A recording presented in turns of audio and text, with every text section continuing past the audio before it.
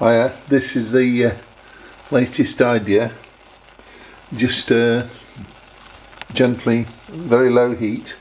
Onions uh, I've cut up put them in uh, water with uh, butter or easy spread butter so it's a mixture of butter and uh, olive oil or whatever. I've already prepared some potatoes I boiled the potatoes. So when the when the onions have cooked maybe a little bit more um, I'm going to put the potatoes in and then I've bought this sauce which is uh, from Tesco and it's uh, Rogan Josh cooking sauce. So I think this they encourage you to put lamb in it but I thought I'd go for the non-meat uh, version. And then afterwards um, when all the onions and potatoes have warmed up in the sauce on a low heat.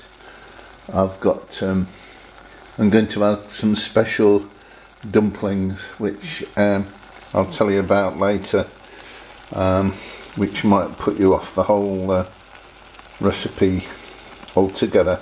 Anyway thanks for watching again. Bye